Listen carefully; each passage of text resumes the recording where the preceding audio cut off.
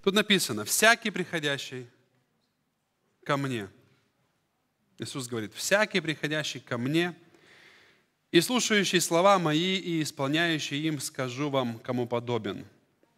Он подобен человеку, строящему дом, который копал, углубился и положил основание на камне. Почему, когда случилось наводнение и вода наперла на этот дом, то не могла поколебать его? Потому что он основан был на камне. А слушающий и не исполняющий подобен человеку, построившему дом на земле без основания, который, когда наперла на него вода, тот час обрушился, и разрушение дома сего было великое. У меня вопрос к вам, посещающим церковь и богослужение. Как вы считаете, какая часть служения самая важная для вас? Прославление, благословение детей. Я люблю молиться за нужды, сильно люблю молиться за нужды. Проповедь, а, пожертвования или какие-то другие. Что для вас является, вот если мы разобьем служение, есть как бы Бауштайн, или, как сказать, элементы, из которых составляется служение. Какая часть вы для вас, вы для себя считаете самое, самое важное? Это, это время, когда мы поклоняемся Богу. Или это время, когда мы жертвуем материально. Или это время, когда мы молимся за нужды. Или это время, когда мы участвуем, сегодня у нас вечеря Господня, причастие, когда у нас. Какая самая важная для вас часть? это проповедь. Что, что самое важное? Что, если мы выберем, что, что является зерном служения? На самом деле это провокация. Это все важно. Нету чего-то важнее, чего-то менее важного. Неважного мы просто не делаем здесь. Все служение важное. Но знаете, я, к сожалению, вижу, что есть люди, для которых какая-то часть служения важнее, какая-то не важна. Кто-то, допустим, опаздывает на прославление только потому, что ему это не нравится. Он считает, это не важно, не нужно, зачем оно мне напрягаться, ехать туда, спешить, сбивать ноги. Я лучше приду, когда все, вот эта музыка утихнет, это, это, это. они сядут все, тогда я приду. И есть люди, для которых самое главное оторваться на прославлении, а потом можно и вздремнуть немного. Такая атмосфера нормальная здесь. Есть, есть люди, которые вот, вот сели и сказали аминь, и глаза все, так. Потом, когда говоришь аминь, и приятный аппетит к чаю, открылись, люди ожили. И ты просто видишь по людям, по их реакции, что они для себя считают важным и нужным. Ну, я, естественно, как проповедник считаю, что самая важная часть всего служения, все. Я проповедую, тема моя называется сегодня «Приходящий, запятая, слушающий, запятая, исполняющий. Моя проповедь называется так, приходящий, слушающий и исполняющий. И когда я молился, искал лица Божьего и спрашивал, Господи, о чем сегодня говорить к церкви? Знаете, когда церкви уже 9 лет, вроде небольшой возраст, но уже, мне кажется, так много всего проповедано в церкви. Уже и об этом проповедовалось, и об этом проповедовалось, и семинар такой был, и проповедник такой приезжал, и об этом уже сказано, и вроде уже все проповедано. Но знаете, в этой книге глубина мудрости откровения Божия. И вдруг мои глаза, я читал Евангелие, упали на это место, и оно как будто зажглось для меня. Я вдруг увидел это место совсем по-другому. Есть три этапа в жизни человека в познании Господа. В том, в том, как человек приближается к Богу. Первый человек – это приходящий к Богу. Второй человек – это степень его приближения к Богу. Он не только пришел, он открыл свое слово, чтобы, свое сердце, чтобы слушать Слово Божие. И третий этап, можно сказать, приближение, посвящения человека к Богу, это когда он пришел к Богу, слышит Его Слово, хочет и заставляет себя, смиряет себя, чтобы исполнять это Слово в своей жизни. И здесь написано о том, что человек, который приходит к Богу, слушает Слово и исполняет его в своей жизни, он мудрый человек. Он счастливый человек. Он блаженный человек, потому что Бог говорит, я уподоблю его человеку, который построил свой дом, а дом про образ жизни на камне, на твердом фундаменте. И вот я хотел бы об этих трех моментах поговорить. Вы знаете, Бог, Он приглашает к себе людей. Сегодня Бог на этой земле, Он занят единственным, единственной целью. Я когда-то говорил об этом и буду сейчас говорить об этом. Для Бога на земле ценность номер один – это, это чтобы мир был на земле. Это чтобы кризиса не было. Это чтобы войны не было на Ближнем Востоке. Это чтобы инфляция не поднялась. Или чтобы у нас на пенсии было все нормально.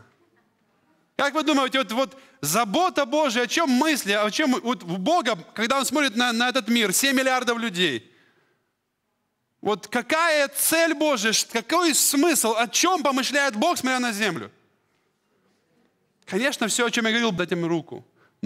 Но его приоритет, его цель номер один – это церковь. Он на этой земле занимается тем, чтобы люди, которые еще не знают о Боге, услышали о Боге и могли принять свое решение, хочу я за Богом идти или нет.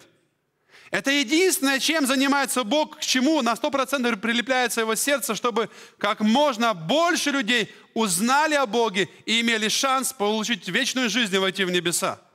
Потому что одним из признаков пришествия Господня на землю, и мы знаем, мы знаем один из ярчайших признаков, Иисус сказал, да будет Евангелие Царствия проповедано по всей земле, и тогда придет конец.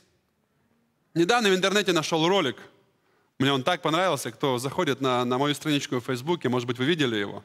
Папуа Новая Гвинея, туземцы в своей традиционной одежде, с перьями, с повязками, с, набедрен, с набедренными своими повязками, перьями, со всеми бусами и разукрашены. Толпа, не знаю, человек, на, ну не знаю, человек, в, как бы в кадр попал, человек, может быть, 200-300. Поднявши руки, знаете, что делают? Молятся молитвой Шма Израиль. Шма Израиль, Адонай. Это молитва, которая молитва является основополагающей. Господь Бог, един Господь есть. Это на которой заповеди Господня строятся. Интересно для меня было видеть, как папуасы из Папуа Новой Гвинея, поднявши руки, молятся и поют на иврите. Можете представить себе? Царство Божие проповедуется до края земли. Царство Божие достигает племен. Еще, может быть, несколько десятков лет эти люди ели других людей на завтрак. Еще несколько десятков лет они друг друга снимали скальпи, делали другие вещи. Но сегодня эти люди поднимают руки и поклоняются живому Богу, осознавая Его как царя, а себя как служителя Его. И знаете, некоторые люди верят, не верят, но я знаю, что сегодня Бог занят тем, чтобы проповедовать Евангелие Царства по всей земле. Я общаюсь с пастырями, с миссионерскими организациями, я посещаю разные конференции, и мы сегодня знаем, что сегодня огромнейшее пробуждение идет в Китае – и хотя сегодня там коммунистический режим, там такая смесь капитализма и коммунизма, там давят церковь, как в свое время в Советском Союзе, но каждый день многие сотни тысяч обращаются ко Христу. И церковь, находясь в подполье, растет. В Индии церковь растет. Сегодня серьезное пробуждение во Вьетнаме. Вьетнамские. Сегодня многие миссионеры русские едут туда и служат. Открываются библейские школы и как бы получают образование миссионеры – в Африке, в многих концах сегодня самый трудный уголок, э, уголок это, конечно, Ближний Восток, арабский мир. Ирак, Иран, вы знаете, там сильнейшее гонение сегодня. Но у Бога на сердце сегодня рассказать каждому о том, что Бог есть. Для того, чтобы каждый человек мог с этим столкнуться, принять для себя решение. Пойду я за Богом или не пойду я за Богом. Знаете, каждый человек, он в своей жизни имеет шанс приблизиться к Богу услышав Евангелие, мы с вами живем в такой благословенной стране. Здесь на каждом перекрестке есть церковь. Если человек сильно захочет и будет Бога искать, он найдет его. Бог сказал, если ты будешь искать меня, ты найдешь меня. И знаете, есть люди, которые приближаются к Богу. Знаете, я верю, что это первый, первый этап познания Бога, когда человек, движимый нуждой или проблемой, или вдруг кто-то его на улице остановил и рассказал ему о том, что есть живой Бог, который любит тебя – Бог через разные ситуации старается приблизить человека к себе. Но я вижу и понимаю из, из того, что я читаю в Писании о Боге, что Бог никогда не будет навязывать себя людям. Никогда. Никогда не будет заставлять человека поверить в Него. Знаете, буквально вчера у меня с моим сыном состоялся разговор, ему сейчас 8 лет. был определенный момент, и мы с ним разговаривали часов до 12. Я говорю ему, сын, знаешь, Бог дал тебе огромную привилегию родиться в семье верующих людей, служителей. У тебя есть огромная привилегия с детства начать свою жизнь с Богом. Но я говорю, но я не буду тебя заставлять. У тебя есть огромная привилегия познакомиться с Богом. Ты знаешь с детства, что Бог живой, что Бог отвечает на молитвы. Ты видишь мою жизнь, ты видишь жизнь мамы. Но быть верующим мы тебя не будем заставлять. У тебя есть свой выбор. Если ты примешь решение, скажешь, я в церковь ходить не буду, я не хочу, ты можешь сделать свой выбор, я не буду тебя заставлять как отец. Ты можешь остаться дома, ты можешь жить как вот мирские люди, ты видишь, как они живут. Но только ты должен знать, что есть Бог, есть вечность, есть ад, есть рай, и ты делаешь свой выбор. Сынок, но я не хочу, чтобы ты ходил и, и, и заставлять тебя молиться. Я не хочу тебя одергивать в церкви, когда ты не молишься, и там делаешь вид, и стоишь и молишься, ну когда же они там закончат, я уже на, на детскую бегу. Говорю, знаешь, я верю, что мы должны быть честными пред Богом и пред людьми. Если не хочешь, ну честно не ходи. Написано в, в, в Екклезиастах написано, сын мой, что видят твои глаза, делай это. Хочешь налево, налево, хочешь направо, направо, только знай. Делай только внутри себя, знай, что за все за это Бог приведет тебя на суд. Бог дает человеку информацию и знания, что он есть, какой он. Он. Бог обозначает, что вот эти вещи называются грехом, за это человек будет судим. Я желаю, чтобы ты жил так, но Бог никого не заставляет и никого, знаете, не заманивает, не, не переламывает, не шантажирует. Человеку Бог дал свободу выбора. Живи как хочешь, но знай, что я такой, и жизнь такова. Но есть люди, которые отзываются. И сын говорит, папа, я хочу быть верующим. Я хочу быть с Богом. Я не хочу в ад, я не хочу туда, я хочу Бога любить, я хочу идти за Ним. Для меня, конечно, как для отца, это приятно слышать. Для меня это момент, когда мы даем детям вариант определиться в жизни, чего они хотят, пустить их. Потому что я верю, я понимаю, что мы как родители имеем власть над детьми, но тоже должны давать им свободу принимать решения. Знаете, также и Бог в нашей жизни, Он открывается человеку, но с другой стороны, Он стоит и дает ему решение. Если человек позовет меня к себе, я приду к нему. Если человек скажет, Бог, ты мне не нужен, он уйдет. Знаете, Бог, Он джентльмен. Он никому никогда не навязывается. Он никогда никому не, не приходит и не ломает руки, не, не, не зажимает его не загоняет его в угол обстоятельствами, только поверь меня и все, и тогда будет с тобой все хорошо. Нет. Некоторые люди живут на земле в беззаконии до конца своей жизни, в масле катаются. Делают беззаконие, живут в грехах, в масле до конца своей жизни, на земле благоденствуют.